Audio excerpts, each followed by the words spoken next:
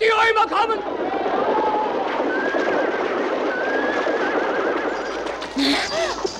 Das ist eine Frau!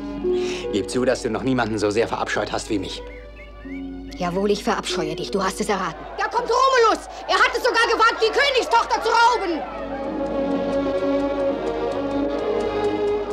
Ich bin Romulus, König von Rom. Ihr wollt den Krieg, nicht wahr? Ja, wir werden Rom zerquetschen. Ziehen wir also gegen Rom. Befreien wir die Sabinerinnen. Und vertrauen wir auf den Schutz der Götter.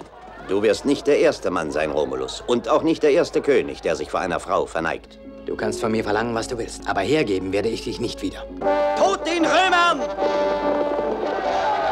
Die Sabiner, wir sind verraten worden. In dieser Nacht wird Rom entweder untergehen oder für immer leben. Und ich bin ganz sicher, dass es leben wird.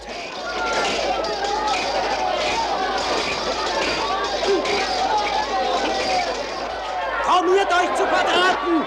Weicht zum Tempel zurück!